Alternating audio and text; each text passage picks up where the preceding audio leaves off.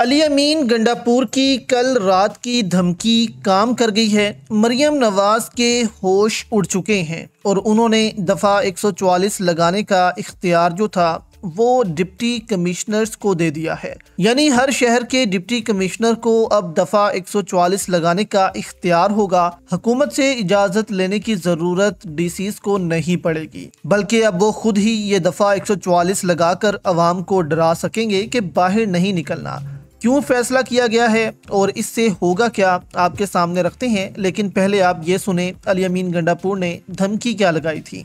मैं यहाँ पर अभी भी दोबारा वार्न कर रहा हूँ कि आपने जिस तरीके से अपने हाथ में ये गैर आनी तरमीम करके सीनियर मोस्ट जज के बजाय अपनी मर्ज़ी का जज लगाने का प्रोग्राम बनाया है। अगर आपने सीनियर मोस्ट जज को ना किया है पॉइंट तो इनशाला हम सब निकलने के लिए तैयार खड़े हैं यहाँ पर।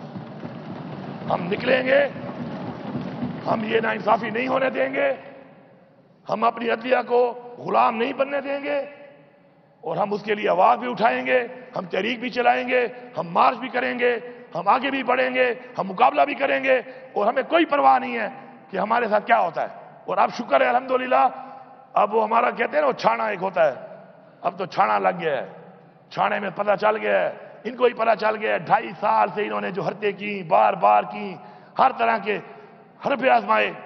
अब निकलते निकलते निकलते, आहिस्ता आहिस्ता वो लोग सामने आ रहे हैं, जो सिर्फ़ एक चीज़ पे यकीन रखते हैं, वो है ला इलाहा इल्लल्लाह। बस। अब ला इलाहा इल्लल्लाह वाले खड़े हो गए, इंशाल्लाह। चाहे वो पार्लियामान में है और चाहे वो अवाम में है। अब ये ला इलाहा इल्लल्लाह का नारा लगेगा, इंशाल्लाह। और ये सारी आवाम में से वो लोग निकलेंगे। अब देखें, तहरीक तो चलनी ही चलनी है और अली अमीन गंडापुर को भी मालूम है कि इनके साथ भी धोखा हुआ है। इनको पहले मार्च खत्म करने का कहा गया। ज़ाहिर है, अली अमीन गंडापुर को कोई ऑफर्स की गई होंगी कि ऐसे करें, वैसे करें, हमें चंद दिन दें, हम खुशखबरी देंगे और इन्होंने चुपके से तरमीम कर ली।